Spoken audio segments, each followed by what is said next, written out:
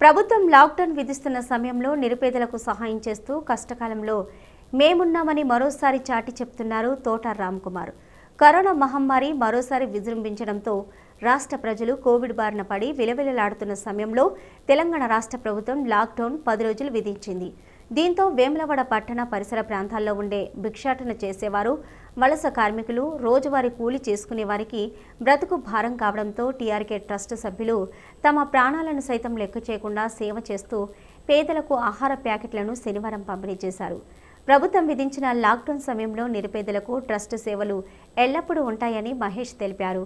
ఈ కార్యక్రమంలో TRK working team enquiry team సభ్యులు పాల్గొన్నారు.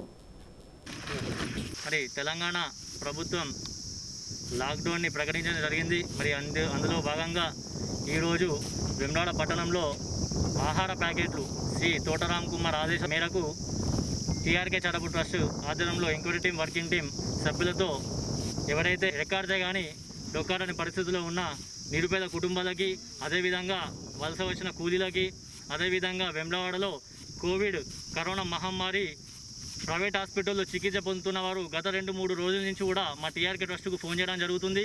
మరి వారు పక్కనున్న గ్రామాల్లో ఉంటూ వెమ్లాడలో చికిత్స పొందుతున్నారు. మరి అలాంటి వారికి ఆహార ప్యాకెట్లు వాళ్ళ ఇంటి నుంచి తీసుకురావాలంటే ఈ లాక్డౌన్ పది గంటల వరకే ఉంది కాబట్టి వాళ్ళు రాలేని పరిస్థితి. అలాంటి పరిస్థితి వాళ్ళు కూడా మాకు ఫోన్ చేసి మరి పలానా హాస్పిటల్లో ఉన్నారు మా వాళ్ళకి ఆహార ప్యాకెట్లను ఇవ్వమని కోరడం జరిగింది. ఇటు విషయాన్ని మేము శ్రీ తోటరామ్ కుమార్ గారికి తెలియడం జరిగింది. మరి తోటరామ్ కుమార్ గారు వెంటనే ఆదేశించడం జరిగింది.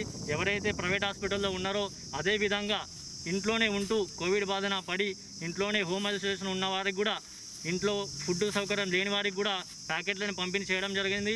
అదేవిధంగా ఈ రోజు వెంబడ పట్టణంలో దక్షిణకాశిగా పేరుగాంచిన శ్రీ రాజేశ్వర స్వామి దేవస్థానం ముందు కొన్ని ఏండ్ల నుంచి కూడా వారు భిక్షాటన చేస్తున్నారు. వారి జీవన ఉపాధమే భిక్షాటన.